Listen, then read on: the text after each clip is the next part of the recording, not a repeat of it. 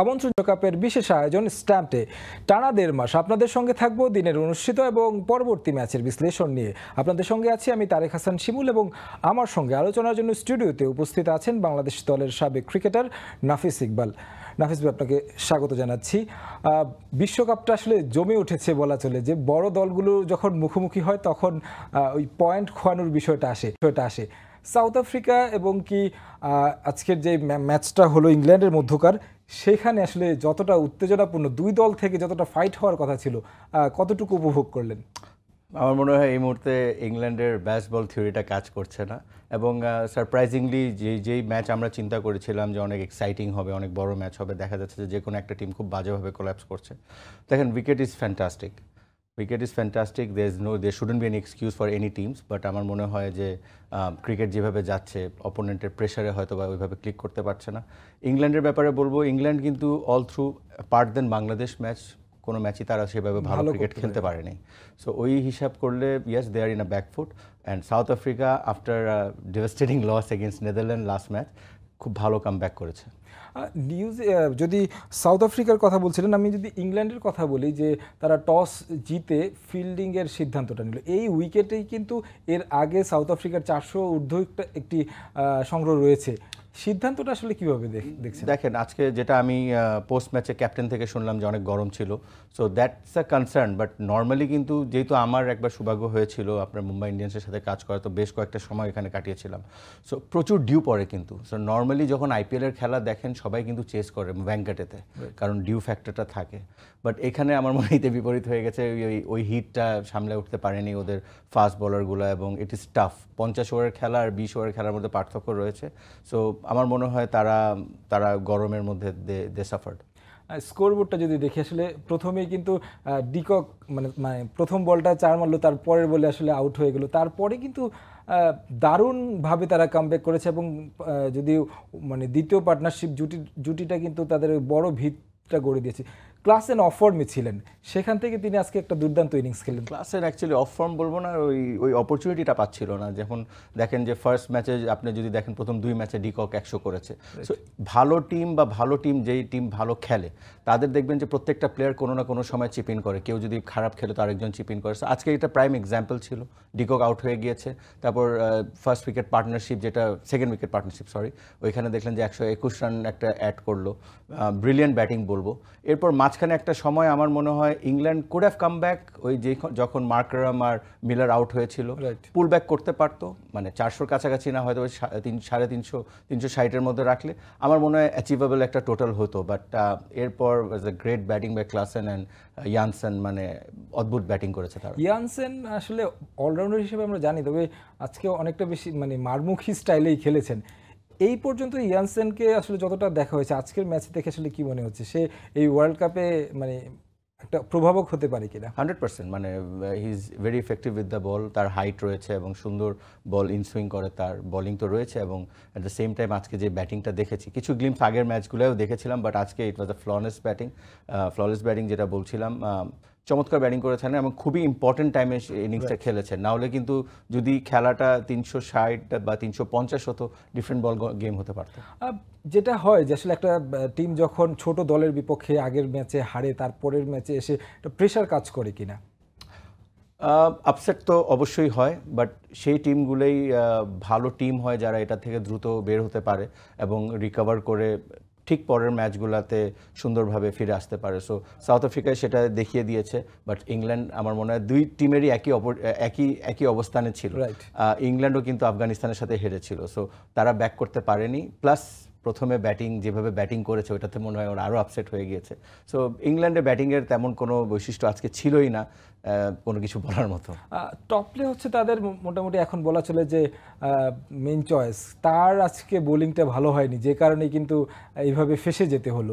পাশাপাশি যদি bowling light আমি আজকে চেঞ্জও এসেছে দেখলাম এই চেঞ্জটা কি আসলে কি মানে তাদেরকে ব্যাকফুটে ফেলল কিনা? আমার মনে হয় ইংল্যান্ড কিন্তু এই গত যতগুলো ম্যাচ দেখলাম এই নিয়ে ফোর্থ ম্যাচ রাইট সো ওই ওই হিসাবে কিন্তু তারা খুব ভালো বোলিং করতে পারেনি। এবং তাদের ব্যাটিংটা ওইভাবে ক্লিক করেনি। সো বোলিং আপনি যখন এই ধরনের টুর্নামেন্টে আসেন স্পেশালি সাবকন্টিনেন্টে মানুষ সবাই চিন্তা করে যে ভালো ব্যাটিং করলেই হবে বাট ওই রিস্ট্রিকশনটা কিন্তু আপনার রাখতে হবে যে ওই বোলিং অ্যাটাকটা আপনার থাকতে হবে। সো আমার মনে হয় তার আগে তারা ওয়ার্কসকে ট্রাই করেছিল সেও খুব এক্সপেন্সিভ ছিল স্যাম কারণও খুব একটা বেশি করতে হয়নি they made the changes which is okay but এখন যাদেরকে নিয়েছে লাইক মার্ক উডও আজকে অনেক এক্সপেন্সিভ ছিল। Topley is amongst the wickets say wickets পাচ্ছে আপ ফ্রন্টে উইকেটস পাচ্ছে মাঝখানে সে উইকেটস পাচ্ছে বাট আজকে অনেক বেশি এক্সপেন্সিভ ওয়ার্ল্ড চ্যাম্পিয়ন ইংল্যান্ড তাদেরকে আসলে অনেক বেশি এক্সপেকটেশন ছিল। আজকে এই ম্যাচের পরে টপলে ব্যাটিংও করতে পারেনি ইঞ্জুরিতে পড়ল। আরও একটু ব্যাকফুটে চলে গেল কিনা আসলে। ও ইয়েস মানে এই এই মেজর টুর্নামেন্টসে এসে যদি কোনো ইনজুরি কনসার্ন থাকে একটা টিমের অনেকটা ব্যালেন্স নষ্ট করে দেয় এবং Topley was one of their bowlers যারা এই এই মুহূর্তে তাদের জন্য কিছু ভালো করছিল। সো হ্যাঁ তাদের জন্য একটা ডেফিনেটলি কনসার্ন হবে but good thing is Stokes back করেছে। আই এম নট শিওর তাকে আজকে বোলিং করতে দেখিনি। বোলিং করেনি বাট হোপফুলি সামনের ম্যাচে হয়তো দেখতে পারি। আর নিশ্চয়ই আসলে পাশাপাশি যদি আমরা একটু দক্ষিণ আফ্রিকার ব্যাটিংটা এতক্ষণ দেখছিলাম ইংল্যান্ডের ব্যাটিং যদি দেখি একশো সত্তর রানে অল আউট আহ, একদম শেষ দিকে এসে মানে মার্ক উড আর অ্যাটলে অ্যাটকিনসন কিছুটা ফাইট করেছে। আমরা হিসেব করছিলাম যে বিশ্বকাপের সবচেয়ে বড় হার কোনটা সেই জায়গা থেকে তারা আসলে সেটা উতরে গেছেন। দুশো উনত্রিশ রানে শেষ পর্যন্ত। তবে টপ অর্ডারের কথা যদি বলি ইংল্যান্ড কিন্তু বাংলাদেশের বিপক্ষে যে ম্যাচটা খেলেছে একদম ফ্লোলেস একটা মানে তারা মানে ফ্লুয়েন্ট একটা গেম খেলেছে।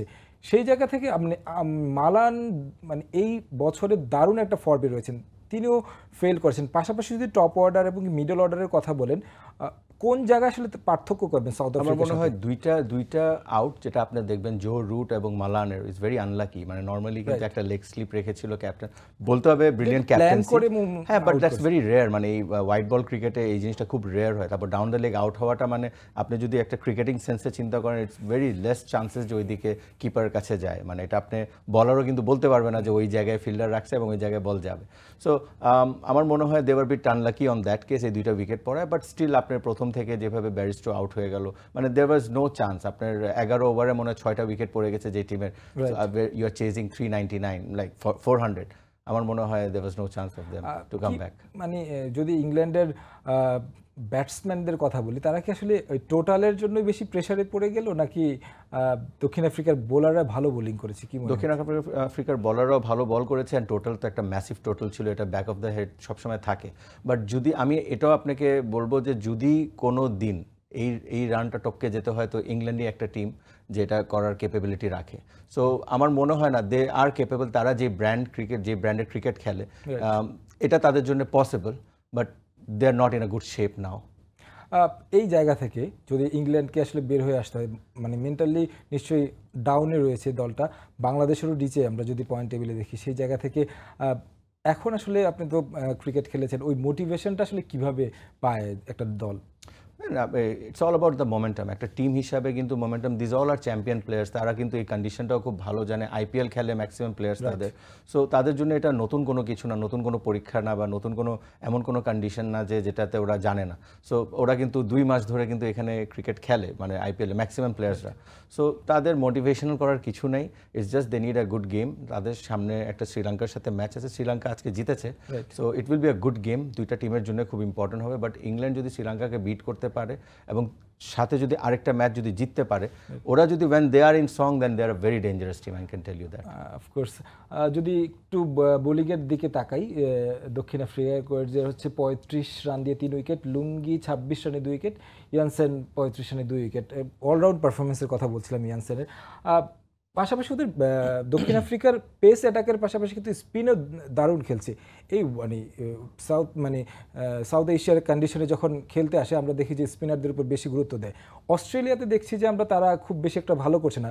লাইক নিউজিল্যান্ড অস্ট্রেলিয়া কিংবা ইংল্যান্ড ওই দলের স্পিনাররা এই সাউথ এশিয়ায় এসে খুব একটা ভালো করতে পারছে না। তবে দক্ষিণ আফ্রিকান স্পিনারদেরকে কীভাবে রেট করে দেখেন আমার মনে হয় আজকের ম্যাচে শুধু মাহারাজ খেলেছেন এবং তার দুই ওভার করতে হচ্ছে। ওয়াজ বিট এক্সপেন্সিভ বাট একটা উইকেট নিয়েছেন মনে হয়। আর অস্ট্রেলিয়ার কথা বলছেন অস্ট্রেলিয়ার জ্যাম্পা কিন্তু ইনিশিয়ালি ভালো করছিলেন না বাট লাস্ট দুইটা ম্যাচে কিন্তু সে খুব ভালো ম্যাচ বোলিং করেছেন। লাস্ট ম্যাচে in fact man of the ম্যাচও হয়েছেন। Leg spin is a tough job leg spin আপনার কিন্তু একটা রিদম থাকতে হয়, আপনার কিন্তু ইনিশিয়ালি এসে সেট হইতে হয়। সো লেগ স্পিনারদেরকে ওই সময়টা দিতে হয়। সো এখন কিন্তু জাম্পা খুব ভালো করছে, দুই ম্যাচ কনসিস্টেন্টলি ভালো করেছে এবং ম্যাক্সওয়েল যাকে আমরা সবসময় ওকেশনাল বলার বলি বাট আপনি তার স্ট্রাইক রেটটা যদি দেখেন he is the most economical bowler at the moment Australia আসলে উপায়ও নেই ম্যাক্সওয়েলকে ছাড়া। কারণ তারা যাদেরকে মানে পরিকল্পনা করল অ্যাস্টন এগারের কথা যদি বলি, তারা কিন্তু ইঞ্জুরির কারণে আসতে পারেনি। অস্ট্রেলিয়া একটা টিম ছিল যেটা আমার মনে হয় যে স্ট্রাগল করতো উইথ দ্য স্পিনার্স বাট তাদের এক্সিকিউশনগুলো এত ভালো হয়। অস্ট্রেলিয়া টিমের এক্সাম্পল আমরা সবসময় কীভাবে দিই they are very mentally tough এবং যারা মেন্টালি টাফ হয় তাদের এক্সিকিউশনটা খুব স্ট্রং হয়। মানে তাদেরকে যদি আপনি কোনো একটা কাজ দিয়ে দিবেন তার ওই কাজটা হান্ড্রেড পার্সেন্ট বা মোর দ্যান হান্ড্রেড পার্সেন্ট করার চেষ্টা করে। সো এটারই সবচেয়ে প্রাইম এক্সাম্পল জ্যাম্পা আমার মনে হয় he has a back injury এবং ওইটা নিয়েও সে যেভাবে দুর্দান্তভাবে ফিরে এসেছেন। আমরা সেটা রিফ্লেক্ট দেখলাম লাস্ট ম্যাচে এবং ম্যাক্সওয়েল বলব ফিঙ্গার স্পিনার হয়ে যেভাবে সে বল করছে, আমার মনে তার strike rate is below five so which is a phenomenal thing ওয়াংখেড়েতে match হলো, বাংলাদেশ দল এখন আছে মুম্বাইতে, বাংলাদেশের নেক্সট ম্যাচ প্রতিপক্ষ দক্ষিণ আফ্রিকা। কীভাবে দেখছেন আসলে বাংলাদেশের সামনে মানে যেভাবে দক্ষিণ আফ্রিকা ক্রিকেট খেললো? আবার একটা বিষয়ও কাজ করে যে দক্ষিণ আফ্রিকার বিপক্ষে হয়তো আমরা ভালো খেলতে পারি। আপনার কি মনে হয়? একটা আশা অবশ্যই থাকে। আজকের খেলাটা দেখে যদি চিন্তা করেন তা না বাট এর আগের খেলা সাউথ আফ্রিকা যেটা খেলেছে ওইটার দিক থেকে আশা থাকে। দেখেন আমি আমার টিমকে কোনোদিন ছোট করব না। আমি আমি মনে করি Bangladesh is a capable team somehow এখন কোনো দিক থেকে হয়তো বা এক্সিকিউশনগুলো হচ্ছে না। On their day Bangladesh on their day is a very dangerous team এবং তারা এটা আগেও প্রমাণ করেছে। লাস্ট দুই বছর ধরে তারা খুব ভালো ক্রিকেট খেলেছে এবং টপ অফ দ্য র্যাঙ্কে ছিল। সাউথ আফ্রিকাকে কিন্তু গিয়ে সাউথ আফ্রিকায় গিয়ে হারিয়ে এসেছে বাংলাদেশ যেটা কিন্তু অনেক টিম সাবকন্টিনেন্ট থেকে করতে পারেনি। সো এই ওই কনফিডেন্সটা ডেফিনেটলি থাকা উচিত প্লেয়ারদের মধ্যে এবং ওইখান থেকে এসে আমার মনে হয় ওই কনফিডেন্স নিয়ে যদি খেলে সাম পজিটিভ রেজাল্ট মাইট আপনি তো আইপিএলে কাজ করেছেন মুম্বাই ইন্ডিয়ান্সের সঙ্গে। এই ওয়াংখেড়ের উইকেটে আসলে মানে মানে বাংলাদেশের যদি গেম প্ল্যানের কথা বলি সাজানোটা কি কীভাবে সাজানো উচিত মনে হয়? যে যেভাবে রান হচ্ছে বোলিং ডিপার্টমেন্টে বেশি জোর দেওয়া উচিত কি দেখেন আমি দুই হাজার আঠারোতে ছিলাম এবং আঠারোতে আর এখনকার মধ্যে অনেক হয়তো বা ডিফারেন্স হতে পারে বাট একটা জিনিস যে it's a high scoring ground ছোট মাঠ উইকেটটা ভালো গুড ক্যারি থাকে বলের এবং ফ্ল্যাট উইকেটই কনসিডার করা যায়। আজকে যেভাবে দেখলেন আপনি রানস কীভাবে হয়। সো দেখেন আমাদের কাছে ভালো ফাস্ট বলার রয়েছে যারা ভালো করছে। আমাদের কাছে যথেষ্ট ভালো স্পিনার রয়েছে। আমাদের ব্যাটিংটাও ভালো, just it they need to click. আমাদের এই গ্রাউন্ড হিসাবে একটা পুঁজি দিতে হবে যেটা বলাররা ডিফেন্ড করতে পারে। একটা বিষয় যে আজকের ম্যাচে যেমনটা দেখলাম ওয়াংখেড়ের আউটফিল্ডটা একটু মানে যখন ফিল্ডাররা ড্রাইভ করছিল তখন মানে বালু উঠছিল। এটা মানে কনসার্নের বিষয় বিষয় কিনা? যে যদি ইনজুরির বিষয় থাকে আমরা ধর্মশালাতেও তেমনটা দেখেছিলাম। না হয়তো বা কিছু জায়গায় it can be because of the rain বা because of some other preparation এরকম ধরনের কিছু জায়গায় বালু থাকতে পারে বাট ওভারঅল নর্মালি কিন্তু Indian grounds are really good ধর্মশালাটা was I was very very surprise and ওইখানে কিন্তু স্টাক হচ্ছিল। মানে আপনি যখন ডাইভ দিচ্ছিলেন তখন কিন্তু নি স্টাক হয়ে যাচ্ছিল। দ্যাট ওয়াজ ডেঞ্জারাস বাট এখানে হয়তো বালি উঠলেও কিন্তু স্লাইডটা ঠিকই দেওয়া যাচ্ছিল। একটা বিষয় যেটা আসলে কনসার্নের বিষয় আজকে যতটুকু সবশেষ জানতে পারলাম যে তাস্কিনের আবার পুরনো ইঞ্জুরিটা জোর দিয়েছে। সেটা যে কারণে লাস্ট ম্যাচটাও তিনি খেলেননি। মানে পেস বোলিং ইউনিটে তাস্কিনকে বলা হতো বাংলাদেশের মানে মেইন অ্যাটাকিং বোলার সেই জায়গা থেকে বাংলাদেশ দলের জন্য কিছুটা মানে ব্যাকফুটে থাকল কিনা এই জায়গায়? দেখেন আমি তাস্কিনের ইঞ্জুরির ব্যাপারে অবগত না সো আমি এটা নিয়ে কোনো কমেন্ট করতে পারছি না। বাট যেটা আমি বলতে চাই যে এই মুহূর্তে যেই পেস অ্যাটাকটা বাংলাদেশের কাছে রয়েছে everybody is capable to come in Taskin is definitely a good bowler but at at the time আপনি যদি চিন্তা করেন Hasan Mahmud has delivered so well Mustafiz is always there as a big name Shariful is doing really well consistently আমরা কিন্তু Shakib junior যে last Asia কাপেও দুর্দান্ত bowling করেছেন ইন্ডিয়ার সাথে এখানে নিউজিল্যান্ডের সাথেও ভালো খেলেছেন। So we are covered with the fast bowlers যদি কেউ ইনজুর্ড হয় মানে আমরা এখন ওই স্টেজে চলে আসছি যে আমাদের আম, কারোর উপর একা ডিপেন্ড করার মতো অবস্থান নাই। সো যারাই খেলবে আমার মনে দেওয়ার অল কেপেবল লিটন এবং কি তামিম একটা দারুণ স্টার্ট দিল লাস্ট ম্যাচটাতে এইটা আসলে টপ অর্ডার কিছুটা বুস্ট আপ করবে কিনা? অফকোর্স হওয়া উচিত যে দুর্দান্ত একটা স্টার্ট ছিল বাট এই স্টার্ট থেকে যদি এটারে যদি আরও বড় কনভার্ট করা যেত তাহলে হয়তো বা লাস্ট ম্যাচের রেজাল্টটা ডিফারেন্ট হতো। সো এখান থেকে ডেফিনেটলি যারা ওইখানে রয়েছেন এবং যারা ক্রিকেট খেলেন তারা কিন্তু সবচেয়ে বেশি সাফারার হন তারা কিন্তু সবচেয়ে বেশি বুঝতে পারেন জিনিসটা। তো এবং তারা এখান থেকে ডে- শিক্ষা নেবেন। দেখেন Liton is a like class player এবং he is a great batsman সে সে নিজেই বুঝবে যে এই ইনিংসটাকে সে বড় করা কীভাবে যায় ওর চেয়ে ভালো আর কেউ বুঝতে পারবে না। Tanzid Tamim is a impactful player এবং সে যেদিন খেলবে সেদিন যদি বড় খেলে, সেদিন কিন্তু টিমকে অনেক এগিয়ে নিয়ে যেতে পারে একটা বিষয় নিয়ে আলোচনা হচ্ছে বেশি আমরা শুধু দেশে না মানে পাকিস্তানের অনেক ক্রিকেটারও আসলে এই বিষয়টা নিয়ে প্রশ্ন তুলেছেন যে মুশফিক এবং মাহমুদুল্লাহ কেন আরও উপরে খেলছে না? যেহেতু তারা ফর্মে রয়েছেন, দল একটা ভালো স্টার্ট পাচ্ছে, এই সময়টাতে তাদেরকে সামনে এনে আসলে সেট করা যায় কিনা বা অর্ডারটা চেঞ্জ করা যায় কিনা? পাকিস্তান থেকে মনে করেন যে মন্তব্য করাটা খুবই ইজি একটা টক শোর মধ্যে। আপনি আমরা আমরা যেই যেই জিনিসটা দেখছি এটা কিন্তু একটা রেজাল্ট হওয়ার পর দেখছি। যারা ডিসিশন নেয় তারা কিন্তু সকালে ডিসিশন নিতে হয় খেলার আগে ডিসিশন নিতে হয়। সো মুশফিক কিন্তু লাস্ট অনেক দিন ধরে রিসেন্ট পাস যদি বলি সে ছয় নম্বর অনেক সাকসেসফুল একটা ব্যাটসম্যান ছিল। এবং আপনাকে কিন্তু ওই গুরুত্বটাও দিতে হবে যে ওই ছয় নম্বর ইজ এ গুড পজিশন ছয় নম্বর এটা না যে আপনি সবসময় পিছে খেলছেন। ছয় নম্বরে খেলেও কিন্তু আপনাকে গেমটা বানায় নিতে হবে লাস্ট পর্যন্ত।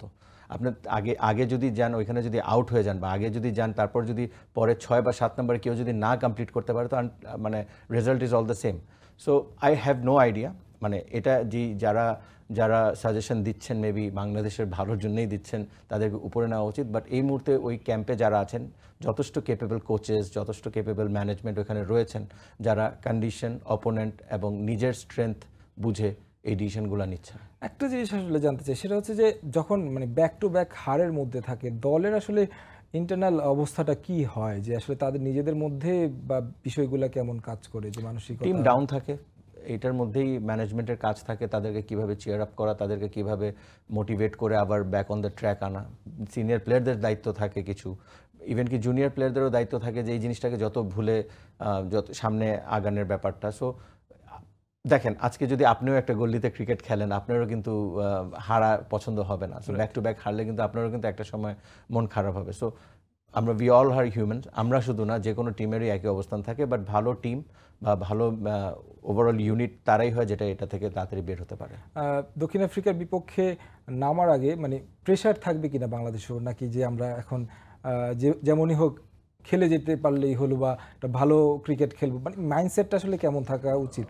দেখেন এগ্রেসিভ মাইন্ডসেট অবশ্যই হওয়া উচিত বিকজ যে টিম যেভাবে ক্রিকেট খেলছে, আমরা যদি এগ্রেসিভ ইন্টেন্ট না রাখি, তাহলে it will be very difficult to beat them আর আমাদের এ প্লাস গেম খেলতে হবে অনেস্টলি এই মানে স্পেশালি সাউথ আফ্রিকা বলেন বা ইন্ডিয়া বলেন বা নিউজিল্যান্ড যে ব্র্যান্ডের ক্রিকেট খেলছে এই ওয়ার্ল্ড কাপে তাদেরকে হারাতে হলে কিন্তু এ এ না এ প্লাস এটা খেলতে হবে। আর আমাদের একটা, আমার মনে হয় আমাদের একটা চাপ তো ডেফিনেটলি থাকবে, কারণ ওই ম্যাচটা স্লিপ করলে আমাদের হয়তো বা সেমিজের chances will be very less যেটা আমাদের দেশবাসী হিসাবে বা সবাই এই চিন্তাটা করেছিল যে এবার যেহেতু এত এক্সপিরিয়েন্স প্লেয়ার রয়েছে, সাকিব পাঁচটা ওয়ার্ল্ড কাপ খেলা প্লেয়ার মাহমুদুল্লাহ চারটা ওয়ার্ল্ড কাপ খেলা প্লেয়ার মুশফিক পাঁচটা ওয়ার্ল্ড কাপ খেলা প্লেয়ার সো এরকম এক্সপিরিয়েন্স যারা খেলেছে তো অন্যান্য টিমেও কিন্তু এত এক্সপিরিয়েন্স প্লেয়ার নাই। তো এবার আমাদের একটা ভালো অপরচুনিটি আছে যে আমরা সেমিজে খেলি। এখন পর্যন্ত সেই স্বপ্ন দেখছেন কিনা যে আসলে? আমি তো শেষ পর্যন্ত দেখব। I was once not once recently I was part of this team এবং আমি জানি টিমের কালচার কি। সো আমি যদি বিলিভ না করি তো আমি সামনে কীভাবে চিন্তা করব সামনে ওই গোলটা অ্যাচিভ করব কীভাবে? We have to dream and then we have to believe and then we have to go for নিশ্চয়ই আমরাও স্বপ্ন দেখি। আসলে পয়েন্ট টেবিলটা দেখতে চাই একটু পয়েন্ট টেবিল আসলে বাংলাদেশের স্বপ্ন আসলে বাস্তবায়ন করা কতটুকু সম্ভব একটু দেখি। সেখানে এখন পর্যন্ত যদি পাঁচটা দলের দিকে তাকাই, সেখানে পাকিস্তান রয়েছে পাঁচ নম্বরে। আর চারটা করে ম্যাচ জিতেছে নিউজিল্যান্ড এবং ভারত, তবে নেট রান রেটে এগিয়ে রয়েছে নিউজিল্যান্ড যে কারণে শীর্ষে রয়েছে দক্ষিণ আফ্রিকা তিন এবং অস্ট্রেলিয়া চারে।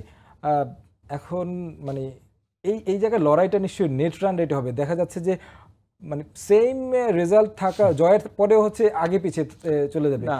বাংলাদেশ রয়েছে হচ্ছে ছয় নম্বরে। আপনি এখন চারটা ম্যাচ তো আপনি চারটা ম্যাচের মধ্যে পয়েন্ট দেখবেন। রাইট যখন ছয়টা ম্যাচ হবে সাতটা ম্যাচ হবে তখন আপনি রান রেটের হিসাবটা আনবেন। এখনও অনেক কাটাকাটি রয়েছে।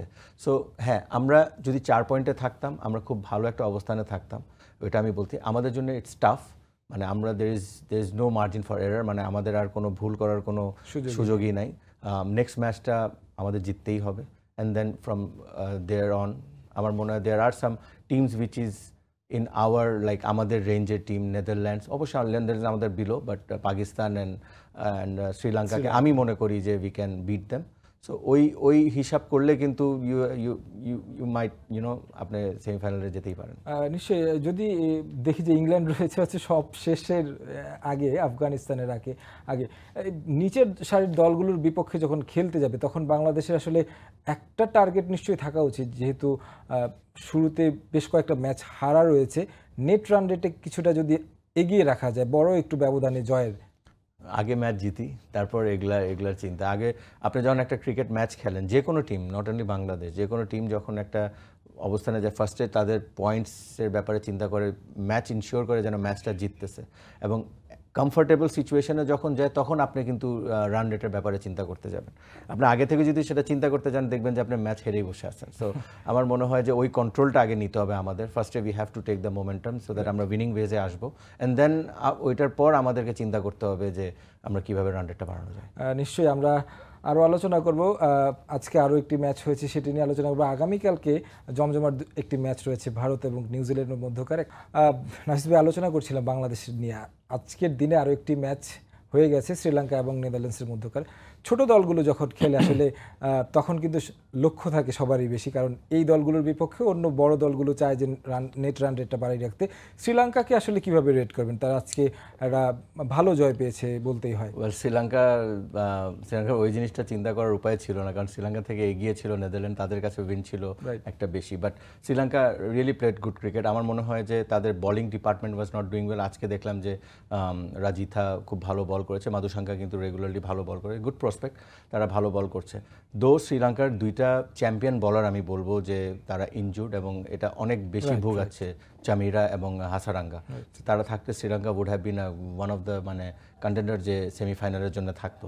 বাট ওয়েল এটা প্রথমে তারা ভালো স্টার্ট করেনি বাট আজকে তারা দেখিয়ে দিয়েছে তারা দে আর কেপেবল একটা জিনিস যেটা আসলে নেদারল্যান্ডসের আগের ম্যাচটাতেও দেখেছি, খুব দ্রুত উইকেট পড়ে যাওয়ার পরেও কিন্তু তারা ভালো একটা স্কোর দাঁড় করিয়ে দিয়েছে। শেষ দিকে এসে দেখলাম যে সাইব্র্যান্ড দারুণ একটি ইনিংস খেলেছেন, সত্তর রানের ইনিংস, ভ্যানভিক উনষাট রানের ইনিংস খেলেছেন। এইসব দলগুলো যেটা দেখা যায় যে আসলে শুরুতে যখন কলাপস করলে একেবারে কলাপস করেই ফেলে পুরো- পুরোটা। লাস্ট দিকে এসে তারা ওই ফাইটটা করছে। এই জুটিটা নিশ্চয়ই একটা ভালো বুস্টার দিবে এই গেম থেকে অন্তত নেদারল্যান্ডসের মতো দলের জন্য। অফকোর্স আর আপনি যদি খেলাটা দেখেন যে খুব আরামেই যে শ্রীলঙ্কা জিতেছে তা না তাদেরও কিন্তু কষ্ট করেই জিততে হয়েছে। খেলাটা কিন্তু পুরা অলমোস্ট পুরা খেলা হয়েছে। Very very impress with this partnership R Netherland বলব যে খুব ডিসিপ্লিন ক্রিকেট খেলে তাদের লিমিটেশন রয়েছে। এটা বলতে মানে আমার বলতেই হবে যে তাদের কাছে মানে ওই সুপারস্টার প্লেয়ার্স নাই বা ম্যাচ উইনার্স প্লেয়ার্স নাই তারা ইউনিট হিসাবে খেলে এবং তাদের মধ্যে একটা লিমিটেশন রয়েছে বোলিং ডিপার্টমেন্টে একটা লিমিটেশন রয়েছে। তারা ওই লিমিটেশনের মধ্যে নিজেদের স্ট্রেংথটা খুঁজে বের করে ওই হিসাবে ব্যাক করে তারা ক্রিকেট খেলে। So which is a good sign এই টিমটাকে আমরা প্রথম থেকে দেখছি they are improving gradually so ভালো লাগে আমার এই খেলাটা। আগে নর্মালি কি হতো যে নেদারল্যান্ডে খেলা দেখব না বাট এখান থেকে অনেক কিছু শিখার রয়েছে। যেমন এই পার্টনারশিপটা ভেরি রেয়ার এই এই পর্যায়ে ছয় উইকেট পড়ে যাওয়ার পর এখান থেকে এই পার্টনারশিপ হওয়াটা মানে it's it's a great thing এবং আমার মনে হয় যে যতগুলো ইয়াংস্টার ক্রিকেট দেখছেন এইসব জিনিসটা দেখা উচিত। আমরা একটা কথা বলি না যে শেষ পর্যন্ত খেলা ছাড়া উচিত না। So this is one of the good example maybe তারা হেরেছে রাইট বাট দে হ্যাভ শোন দেয়ার ক্যারেক্টার তারা কিন্তু শ্রীলঙ্কান বোলিং অ্যাটাক পেসের পাশাপাশি স্পিন অ্যাটাকে যদি বলি থিকসানা রয়েছেন। এই অ্যাটাকের বিপক্ষে কিন্তু দারুণ একটি জুটি করেছেন আমি পাশাপাশি একটু শ্রীলঙ্কার স্কোর বোর্ডটা দেখতে চাই। শ্রীলঙ্কা আসলে যেভাবে চেস করেছে, তারাও কিন্তু শুরুতে ভালোই ধাক্কা খেয়েছিল। তারপরে কিন্তু সামারা বিক্রামা দারুণ ফর্মে রয়েছেন। এশিয়া কাপ থেকে দেখছি তিনি রান করছেন। তার উপর ভর করেই বলা চলে যে ম্যাচটা তারা জয় করেছে। সেই জায়গা থেকে দুইটা পার্টনারশিপ হয়েছে তাদের। এই দুটা পার্টনারশিপকে আসলে কীভাবে ইনফ্যাক্ট সাদিরা সামারা বিক্রমা কিন্তু তিনটা ফিফটি রান ফিফটি প্লাস রানের পার্টনারশিপে ইনভলভ ছিল। ইট ইজ ভেরি ইম্পর্টেন্ট যখনই আপনি চেস করেন বা যখনই আপনার একটা উইকেট পড়ে আপনাকে কিন্তু একটা পার্টনারশিপের উপর মানে ভর করে কিন্তু আগাতে হয়। সো দ্যাট সাথে সাথে দুইটা উইকেট যেন না পড়ে। দুইটা উইকেট তিনটা উইকেট পড়া মানে ওই টিমটা ব্যাকফুটে চলে যাওয়া। তখন আপনার দেখা যায় যে আপনার রান রেটটা কমে যায়। সব কিছু তখন মানে অপোনেন্টটা চড়াও হয়ে যায়। So he did the right thing এবং খুবই অবাক হয়ে এই এই প্লেয়ারটা হি সো ম্যাচিওর সাতাইশটা ওডিআই খেলা প্লেয়ার এবং তার মধ্যে আমার মনে হয় তিন চারটা তার ইনিংস আমি নিজেই উইটনেস করেছি যে ম্যাচ উইনিং ইনিংস সে খেলেছে। আজকে এখান থেকে আপনি অপোনেন্ট দেখবেন না আপনি সিচুয়েশন দেখবেন যে কোন সিচুয়েশনে সে নট আউট থেকে নিয়ে আসছে। সো সাতাইশ ম্যাচ খেলা প্লেয়ারের মধ্যে এই ম্যাচুরিটিটা আসলেই অনেক মুগ্ধ করার মতো। নিশ্চয়ই আমরা আগামীকালকে আরেকটি ম্যাচ রয়েছে, সেই ম্যাচটা নিয়ে একটু আলোচনা করতে চাই। সেটি হচ্ছে ভারত এবং কি নিউজিল্যান্ডের মধ্যকার ম্যাচ, টপ দুই দলের লড়াই। সেখানে আসলে কোন দলকে আসলে, কোনো দলকে কি ফেভারিট মানা যায় কিনা এই ম্যাচে? ওয়েল দুইটা দলই ফেভারিট এই মুহূর্তে বাট ডেফিনেটলি ইন্ডিয়া যেহেতু খেলা হচ্ছে ইন্ডিয়ান কন্ডিশনে ওই হিসাবে আপনি ইন্ডিয়াকে সবসময় এগিয়ে একটু তো ডেফিনেটলি রাখবেন। বাট যেভাবে নিউজিল্যান্ড ক্রিকেট খেলছে মানে দেয়ার ক্লিনিক্যাল পারফরমেন্স তাদের বোলিং বলেন ব্যাটিং বলেন ফিল্ডিং তো তাদের exceptional in fact both the teams are playing great cricket আপনি যদি দেখেন যে দুইটা টিমের কিন্তু bowling attack is doing really well right এই কারণে কিন্তু তারা এখন টপে রয়েছে। সাথে কিন্তু ব্যাটিংটা তো রয়েছেই বাট এই দুইটা টিমের কিন্তু bowling attack is doing really good job দুই দলের যদি মুখোমুখি সাক্ষাৎটা দেখি সেখানে দেখা যাচ্ছে যে ভারতই এগিয়ে রয়েছে এখন পর্যন্ত। একশো ষোলো ম্যাচ খেলেছে ভারতের জয় আটান্নটি পঞ্চাশটি হচ্ছে নিউজিল্যান্ডের খুব বেশি পার্থক্য নয় কিন্তু। ভারতের মাটিতে যখন ম্যাচটা তখন নিশ্চয়ই ভারতকে এগিয়ে রাখতে হয়। ওয়েল আমি বলব যে খুব ভালো কন্টেস্ট হবে হ্যাঁ। আমিও তাই চিন্তা করছি যে হয়তোবা ভারতকে এগিয়ে রাখতে হবে বাট আমার মনে হয় যে নিউজিল্যান্ড এত সহজভাবে ছাড়বে না। তারাও তাদের মধ্যেও ফাইটিং স্পিরিট রয়েছে। তারা খুব প্রসেস ড্রিভেন একটা টিম যাকে বলে যে প্রসেসের উপর বিশ্বাস করে তারা ক্রিকেট খেলে এবং ভেরি ডিসিপ্লিনড একটা টিম সো আমার মনে হয় it will be a cracker of a game but they is a concern of Hardik Pandya ইন্ডিয়ার জন্য। আপনি তার রিপ্লেসমেন্ট কিন্তু আমার মনে হয় ইন্ডিয়ার কাছে তেমন নাই। So it will be interesting change তার জায়গায় কে খেলছে। একাদশ নিয়ে কথা বলব। তার আগে সে একটু বিশ্বকাপে দুই দলের মুখোমুখি সাক্ষাতে এখন পর্যন্ত কি ফলাফল রয়েছে সেটা একটু দেখতে চাই। সেখানে বিশ্বকাপে কিন্তু নিউজিল্যান্ডে এগিয়ে রয়েছে। জি মেবি লাস্ট দুইটা ওয়ার্ল্ড কাপ হয়তো বা দেশের বাইরে ছিল মানে লাস্ট ওয়ার্ল্ড কাপে কিন্তু সেমিফাইনালে ভারতের কাছে হেরে নিউজিল্যান্ড বাদ সরি ভারত ভারতের কাছে আসলে নিউজিল্যান্ডের কাছে ভারত হেরেছিল। কারেক্ট সো ওই কন্ডিশনটা is more favourable to New Zealand আমরা জানি যে ওই অস্ট্রেলিয়া বলেন ইংল্যান্ডে বলেন New Zealand England and Australia's are more favourite so ওই কারণে হয়তো বা বাট এইখানে সাবকন্টিনেন্টে আমার মনে হয় Bharat will be will definitely have some bit more priority কিন্তু যে এখন আমার কাছে মনে হয় যে আমরা যেটা চিন্তা করতাম যে নিউজিল্যান্ড বলেন, অস্ট্রেলিয়া বলেন বা ইংল্যান্ড বলেন, সাবকন্টিনেন্ট আসলেই তারা স্ট্রাগল করবে। তেমন কিছু না। এদের অ্যাডাপ্টেশনটা এত ভালো এরা খুব তাড়াতাড়ি অ্যাডাপ্ট করে এবং এই সিচুয়েশনের অনুযায়ী খুব সুন্দর ক্রিকেট খেলে। এখন আসলে মানে এই দলগুলো একে অন্যের সাথে এত বেশি ক্রিকেট খেলে আসলে কন্ডিশনটা খুব বেশি মনে হয় না ম্যাটার করে এই সাথে আপনি আইপিএল খেলছে আইপিএল এ দুই মাস আড়াই মাস তারা থাকছে। তো ইন্ডিভিজুয়াল প্লেয়ারদের কিন্তু ডেভেলপমেন্ট অনেক হচ্ছে। তো আলটিমেটলি দেখা যায় যে নিউজিল্যান্ডে চারটা পাঁচটা মেবি মোর অস্ট্রেলিয়ার পাঁচটা ছয়টা মেবি মোর তারা অনেক প্লেয়ার তারা খেলেন। তো তারা যখন দল হিসাবে কম্বাইন খেলেন at least they know the they know the surface and the condition আর সে একাদশটা একটু দেখতে চাই। আসলে আগামীকালকের ম্যাচে আসলে কারা ভারতের নিউজিল্যান্ডের বিপক্ষে ভারতের সম্ভাব্য একাদশ যদি দেখি, রোহিত, গিল, কোহলি, আয়াত মোটামুটি মানে আগের ম্যাচে যে ধরনের একাদশ ছিল সেই জায়গায় পরিবর্তন বলতে আপনি বলছিলেন হার্দিক পান্ডিয়ার কথা। সেই জায়গায় ভারতীয় বিভিন্ন গণমাধ্যম বলছে হয়তো বা সূর্যকুমারকে নিতে পারে। বা ঈশান কিষান আপনার কাছে কি মনে হয়? কাকে রাখা যেতে পারে? Well that is a interesting thing মানে আমার মনে হয় আপনি আশ্বিনকেও বাইরে রাখতে মানে আপনি বাইরে যে একদম হান্ড্রেড পার্সেন্ট বলতে পারেন তা রাখতে পারেন না। হ্যাঁ বাট এই এই আপনি যেই যে লিস্টটা যেটা দেখাচ্ছেন এটার মধ্যে যদি হয় তো তাদের কাছে ভারতের কাছে কিন্তু পাঁচটা বলারই থেকে যায় শুধু। So there is no option of six bowler তো ওই হিসাবে ব্যাটিং একটা বাড়ে। উইচ ইজ একটা স্পেশালিস্ট ব্যাটসম্যান আছে, তো ওই হিসাবে ভারতকে চিন্তা করতে হবে যে বড় টোটালটা যদি তাদেরকে চেস করতে হয় বা বড় প্রথমে যদি ব্যাটিং করতে বড় একটা টোটাল করার জন্য। সেক্ষেত্রে কি শার্দুলকে আপনার সাত নম্বরের পজিশনে দিয়ে স্বামীকে ইনক্লুশন করার সম্ভাবনা থাকতে পারে কিনা? ওয়েল আমার মনে হয় হ্যাঁ এরকম যদি আপনার ঈশান বা সূর্যা কুমার যদি ঢুকে তাহলে স্বামী ইজ মোর ওভার মানে জেনুইন ফাস্ট বলার সো ওই হিসাবে স্বামী আসাটা মানে আমার চয়েস হিসাবে স্বামী যেটা হয় যে আসলে হিমাচল প্রদেশের যে স্টেডিয়ামটি রয়েছে ধর্মশালা সেটা উইকেটটা কিছুটা স্লো টাইপের কিনা? না it's more fast bowling oriented আমরা দেখেছি যে এখানে কিন্তু মুভমেন্ট রয়েছে।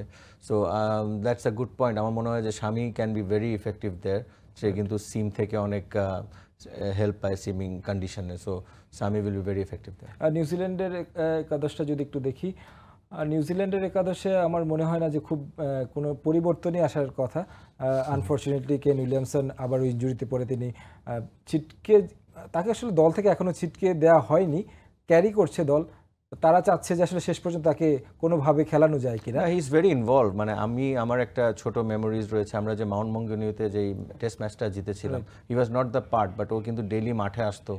জেনুইনলি যে একটা ক্যাপ্টেনের যে কাজ ও কিন্তু ইনভলভ থাকতো টিমের সাথে দো হি ওয়াজ নট দেয়ার এবং এটা আরেকটা শহরে এসে সে আসতো। সো এই জিনিসগুলো কিন্তু খুব ইম্পর্টেন্ট ওকে রেসপেক্ট দেয় অ্যাট দ্য সেম টাইম ও কিন্তু ওই রেসপেক্টটা রিপে করে নিউজিল্যান্ডের দিকে থেকে। আপনি দেখছেন যে বেঞ্চের সামনে থেকে অলওয়েজ ইনভলভ থাকে সবাইকে চেয়ার আপ করে।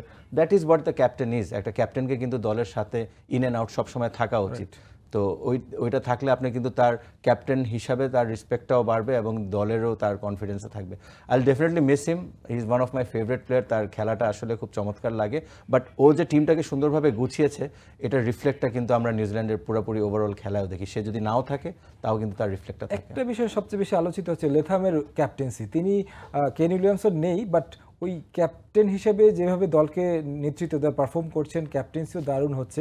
আপনার কাছে কেমন লাগে? আমার মনে হয় Latham is a very good captain okay New Zealand খুব হাইলি রেট করে।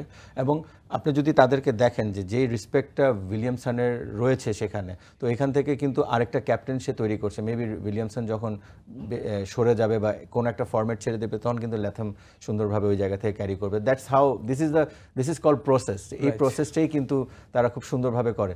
নিউজিল্যান্ডে কিন্তু খুব কম মানে পপুলেশন তার মধ্যে কিন্তু cricket is not the favourite game. হ্যাঁ? তারপরও কিন্তু দেখেন ওয়ার্ল্ড স্টেজে কীভাবে সুন্দর পারফর্ম করে তারা। উইকেটটা নিয়ে একটু যদি দেখি যে উইকেটে কেমন রান হয় আমরা এর আগে যেমনটা দেখেছি সর্বোচ্চ স্কোর তিনশো ত্রিশ আর সর্বনিম্ন একশো বারো সেটাও কিন্তু ভারতের। গড় স্কোর দুইশো পনেরো।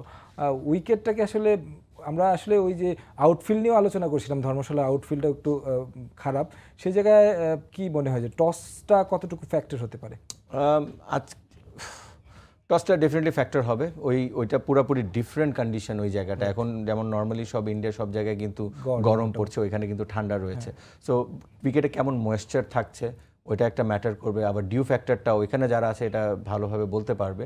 বাট হ্যাঁ মানে আমার মনে হয় যে আইসিসি উইকেট বানায় এটা ট্রু উইকেটই হবে। যদি এটা বায়োল্যাটারাল হতো তাহলে আমি চিন্তা করতাম যে হয়তো বা ইন্ডিয়া তার মতো উইকেট করবে তার সুবিধার মতো। বাট যেহেতু আইসিসি বানাবে it will be a good wicket but there will be some help for the uh, একদম ছোট করে শেষ চলে আসলে মানে ম্যাচটা কতটা হাড্ডাহাড্ডি হবে মনে হয়? আমার মনে হয় it will be fifty fifty game ধন্যবাদ আপনাকে অসংখ্য আপনাদের সাথে এসে সময় দেওয়ার জন্য।